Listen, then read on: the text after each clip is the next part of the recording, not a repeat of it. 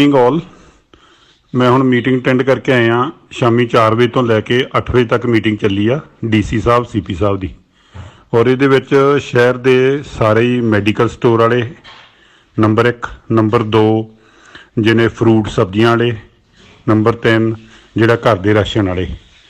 ਇਹੋ ਜਿਹੀਆਂ ਜਿਹੜੀਆਂ ਘਰ ਵਿੱਚ ਜ਼ਰੂਰੀ ਵਸਤੂਆਂ ਜਿਹੜੀਆਂ ਖਾਣ ਪੀਣ ਵਾਲੀਆਂ ਜਾਂ ਪਸ਼ੂਆਂ ਨੂੰ ਪੱਠੇ ਪਾਉਣ ਵਾਲੀ ਸਾਰੀਆਂ ਚੀਜ਼ਾਂ ਜਿਹੜੀਆਂ, ਇਹਨਾਂ ਸੰਬੰਧੀ ਜਿਹੜੀ 4 ਘੰਟੇ ਮੀਟਿੰਗ ਚੱਲੀ ਆ। ਉਹਦੇ 'ਚ ਮੈਂ ਤੁਹਾਨੂੰ 7-8 ਪੁਆਇੰਟ ਦਿਖਾਉਣ, ਦੱਸਣ ਲੱਗਾ। ਇਹ ਸਾਰੇ ਆਪ ਧਿਆਨ ਨਾਲ ਸੁਣ ਕੇ, ਥੱਲਿਓਂ ਕਨਸਟੇਬਲ ਤੋਂ ਲੈ ਕੇ ਉੱਪਰ ਤੱਕ ਜਿਹੜੇ ਥਾਣੇ ਦੇ ਹੈੱਡ ਤੱਕ ਸਾਰਿਆਂ ਨੂੰ ਪਤਾ ਹੋਣਾ ਚਾਹੀਦਾ। ਤੁਹਾਨੂੰ ਕਿਸੇ ਟਾਈਮ ਵੀ ਸੀਪੀ ਸਾਹਿਬ ਜਾਂ ਡੀਸੀ ਸਾਹਿਬ ਜਾਂ ਕੋਈ ਪੁੱਛ ਸਕਦਾ ਤੇ ਇਹ ਨਹੀਂ ਕਹਿਣਾ ਵੀ ਮੈਂ ਬਰੀਫ ਨਹੀਂ ਹੋਇਆ। ਇਹਦੀ ਜ਼ਿੰਮੇਵਾਰੀ ਐਸਐਚਓ ਦੀ ਔਰ ਚੌਂਕੀ ਇੰਚਾਰਜ ਦੀ ਹੋਊਗੀ, ਆਪਣੇ ਥੱਲੇ ਲੱਗੀ ਫੋਰਸ ਨੂੰ ਬਰੀਫ ਕਰਨ ਦੀ। ਇਹ ਪੁਆਇੰਟ ਇਸ ਤਰ੍ਹਾਂ ਆ ਨੰਬਰ 1 ਮੈਡੀਕਲ ਸਟੋਰ ਜਿਹੜੇ ਆ, ਇਹ ਬੰਦ ਰਹਿਣਗੇ।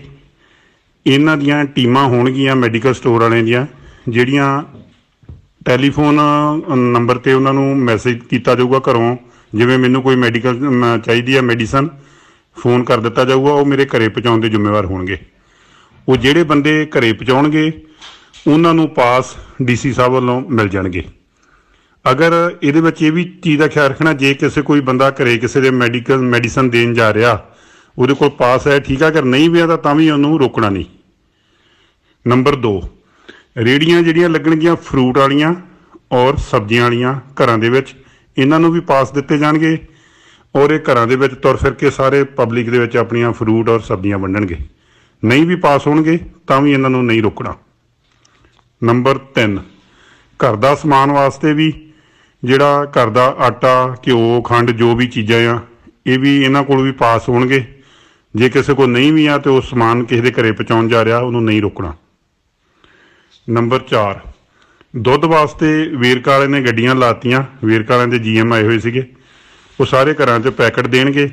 ਇਸੇ ਤਰ੍ਹਾਂ ਹੀ ਦੋਜੀ ਵੀ ਦੁੱਧ ਵੰਡਣਗੇ। ਇਸ ਵਿੱਚ ਕਿਸੇ ਵੀ ਦੋਜੀ ਨੂੰ ਨਹੀਂ ਰੋਕਣਾ। ਸਵੇਰੇ ਇੱਕ ਕੰਪਲੇਂਟ ਉੱਥੇ ਸੀਪੀ ਸਾਹਿਬ ਕੋਲ ਪਹੁੰਚੀ ਆ। ਵੀ ਦੀਪਨਗਰ ਦੇ ਵਿੱਚ ਨਾਕੇ ਤੇ ਦੋਜੀ ਦੇ ਟਾਇਰ ਦੀ ਹਵਾ ਕੱਢ ਦਿੱਤੀ।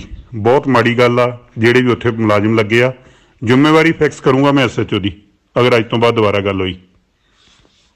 ਨੰਬਰ 5 ਪੱਤਰਕਾਰਾਂ ਨੂੰ ਬਿਲਕੁਲ ਨਹੀਂ ਰੋਕਣਾ। ਚਾਹੇ ਉਹ ਪੱਤਰਕਾਰ ਫੀਲਡ ਦੇ ਵਿੱਚ ਘੁੰਮ ਰਹੇ ਆ, ਚਾਹੇ ਉਹ ਕਿਸ, ਆਪਣੇ ਆਫਿਸ ਦੇ ਵਿੱਚ ਲੱਗੇ ਆ। ਇਹਦੀ ਕੰਪਲੇਂਟ ਵੀ ਭਾਰਗੋ ਕੈਂਪ ਥਾਣੇ ਦੀ ਗਈ ਆ। ਭੂਸ਼ਣ ਸਬ ਇੰਸਪੈਕਟਰ ਨਾਲ ਮੇਰੀ ਵੀ ਗੱਲ ਹੋਈ ਆ। ਉਸ ਬੰਦੇ ਨੇ ਉਹ ਇੱਕ ਕਿਸੇ ਮੁਲਾਜ਼ਮ ਨੂੰ ਰੋਕਿਆ ਤਾਂ ਉਹਨਾਂ ਮਿਸਬਿਹੇਵ ਵੀ ਕੀਤਾ ਮੇਰੇ ਗੱਲ ਕਰਨ ਤੋਂ ਬਾਅਦ ਵੀ। ਮੈਂ ਤੇ ਵੱਖਰਾ ਐਕਸ਼ਨ ਲਵਾਂਗਾ ਹੁਣ ਉਹਦੇ ਤੇ। ਔਰ ਉਹਦਾ ਫੋਨ ਚੁੱਕ ਕੇ ਮਾਰਿਆ ਔਰ ਉਹਨੂੰ ਕਈ ਕੁਝ ਬੋਲਿਆ। ਜੋ ਸਾਰਾ ਉਹਦੇ ਉਹਦੇ ਕੋਲ ਰਿਕਾਰਡ ਆ ਸਾਰਾ। ਇਹਦੇ ਚ ਐਸਐਚਓ ਦੀ ਨਲੈਕੀ ਮੈਂ ਕਹੂੰਗਾ ਵੀ ਜੇ ਉਹਦੇ ਅੰਡਰ ਜਿਹੜੇ ਐਸ ਜਿਹੜੇ ਥਾਣੇਦਾਰ ਆ, ਉਹਦੇ ਕਹਿਣੇ ਚ ਨਹੀਂ। ਨੰਬਰ 6 ਪਬਲਿਕ ਨਹੀਂ ਘੁੰਮੂਗੀ ਵੀ ਕੋਈ ਕਵੇ ਮੈਂ ਕਿਤੇ ਜਾ ਰਿਹਾ, ਉਹ ਨਹੀਂ ਘੁੰਮੂਗੀ। ਹਸਪੀਟਲ ਨੂੰ ਕੋਈ ਜਾਂਦਾ ਜਾਣ ਦਿਓ। ਜੇ ਉਹਦੇ ਵਿੱਚ, ਜੇ ਬਾਕੀ ਆ ਸਮਾਨ ਵੇਚਣ ਵਾਲੇ ਘਰਾਂ 'ਚ ਵੇਚਣ ਆਉਣਗੇ, ਕੋਈ ਦੁਕਾਨ ਨਹੀਂ ਖੁੱਲੂਗੀ। ਜਿਵੇਂ ਅੱਜ 8 ਪਰਚੇ ਦਰਜ ਕੀਤੇ ਆ ਭਾਰਗੋ ਕੈਂਪ ਸਵੇਰੇ ਸਬਜ਼ੀ ਦੀਆਂ ਦੁਕਾਨਾਂ ਲੱਗੀਆਂ ਸੀ। ਜਿਹੜੇ ਕਿਸੇ ਵੀ ਐਸਐਚਓ ਦੇ ਏਰੀਏ 'ਚ ਸਬਜ਼ੀ ਦੀ ਦੁਕਾਨ ਮੈਡੀਕਲ ਸਟੋਰ ਜਾਂ ਕੋਈ ਕਰਿਆਨੇ ਦੀ ਦੁਕਾਨ ਜਾਂ ਹੋਰ ਕਿਸੇ ਤਰ੍ਹਾਂ ਦੀ ਕੋਈ ਦੁਕਾਨ ਖੁੱਲਦੀ ਆ, ਉਹਦਾ ਜ਼ਿੰਮੇਵਾਰ ਐਸਐਚਓ ਖੁਦ ਹੋਊਗਾ। ਹਰ ਥਾਣੇ 'ਚ ਐਸਐਚਓ ਨਾਲ ਉਹਨਾਂ ਦੇ ਏਸੀਪੀ ਲੱਗੇ ਆ। ਇਸ ਕਰਕੇ ਕਿਰਪਾ ਕਰਕੇ ਇਹਦੇ ਪੂਰੇ ਧਿਆਨ ਦੇ ਨਾਲ ਲੋਕਾਂ ਨੂੰ ਬਰੀਫ ਕਰੋ ਅਵੇਅਰ ਕਰੋ, ਜਿਹੜਾ ਨਹੀਂ ਮੰਨਦਾ ਠੋਕ ਕੇ ਪਰਚਾ ਦਿਓ। ਔਰ ਆ ਜਿਹੜੇ ਪੁਆਇੰਟ ਲਿਖਾਏ ਆ, ਇਹਨਾਂ ਦੇ ਉੱਤੇ ਜ਼ਿਕਰ ਕਰਕੇ ਥੱਲੇ ਵਾਲੀ ਫੋਰਸ ਨੂੰ ਬਰੀਫ ਕਰੋ। ਲੋਕਾਂ ਨੇ ਘਰਾਂ 'ਚ ਇੱਥੇ ਡੇਰੀਆਂ ਰੱਖੀਆਂ, ਉੱਥੇ ਪਸ਼ੂਆਂ ਵਾਸਤੇ ਚਾਰਾ ਆਉਂਦਾ, ਜਾਂ ਕੋਈ ਕੰਮੇ ਪਸ਼ੂ ਜਾ ਰਹੇ ਆ, ਉੱਥੇ ਪੱਠੇ ਪਾਉਣ ਲਈ। ਜੇ ਕੋਈ ਬੰਦਾ ਕਹਿ ਰਿਹਾ, ਇਹੋ ਜੀ ਗੱਲ ਉਹਦੀ ਧਿਆਨ ਨਾਲ ਸੁਣੋ। ਵੀ ਜਿਹੜੀ ਇਹਨੇ ਗੱਲ ਦੱਸੀ ਆ, ਉਹ ਬਿਲਕੁਲ ਸਹੀ ਆ। ਵੀ ਉਹ ਡੇਰੀ ਤੇ ਜਾ ਰਿਹਾ ਬੰਦਾ, ਉਹਨੇ ਉੱਥੋਂ ਦੁੱਧ ਚੋਰ ਚੋਣਾ ਆ, ਜਾਂ ਉੱਥੇ ਪੱਠੇ ਲੈ ਕੇ ਜਾ ਰਿਹਾ, ਜਾਂ ਪੱਠੇ ਵੱਢਣੇ ਜਾ ਕੇ, ਉਹਨੂੰ ਜਾਣ ਦਿਓ ਯਾਰ। ਹਰ ਬੰਦੇ ਨੂੰ ਧਿਆਨ ਨਾਲ ਪੁੱਛ ਕੇ ਫਿਰ ਆਪਣਾ ਦਿਮਾਗ ਵਰਤ ਕੇ ਫਿਰ ਉਹਦੇ ਮੁਤਾਬਕ ਚੱਲੋ।